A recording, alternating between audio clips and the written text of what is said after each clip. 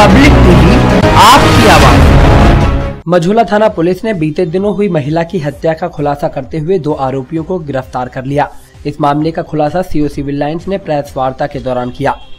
Civil lines office में हुई press वार्ता में बोलते हुए CO civil line Rajesh Kumar ने बताया कि बीती 25 जनवरी को थाना नगला क्षेत्र के गाँव के आँगन में शीला देवी नाम की महिला की हत्या हुई थी। इस संबंध का खुलासा करते हुए महिला थाना पुलिस ने अर्जुन और अंकुर भटनागर नाम के दो युवकों को गिरफ़्तार किया। पकड़े गए आरोपियों ने बताया कि उन दोनों ने ही शीला देवी की गला रेत कर हत्या की थी। हत्यारों में एक आरोपी मृतका का सगा भतीजा भी है। मझौला में काशीराम नगर चौकी क्षेत्र में दिनांक 25 जनवरी 2018 को 2019 को एक महिला की गला रेत कर हत्या कर दी गई थी। जिसके संबंध में हमारी टीम लगी हुई थी।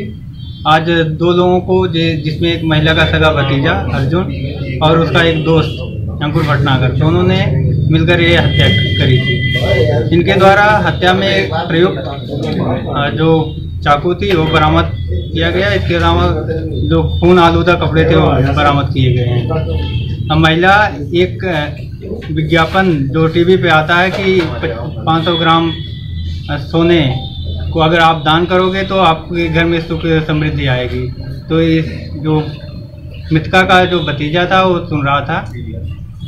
उसको लालच आ गई। इस लालच के सम, लालच के कारण ये दो जो अर्जुन और उसका दोस्त अंकुर भटनागर दोनों ने मिलकर मिथका का दिनांक अब इक्कीस तारीख को कत्ल कर दिया था। सर इनका प्रोफ़ाइल क्या है? दोनों मजदूरी करते हैं। और मजदूरी से गुजर बसर करते हैं। क्या कारण था? मतलब इन लोगों के पैसे की लालच थी।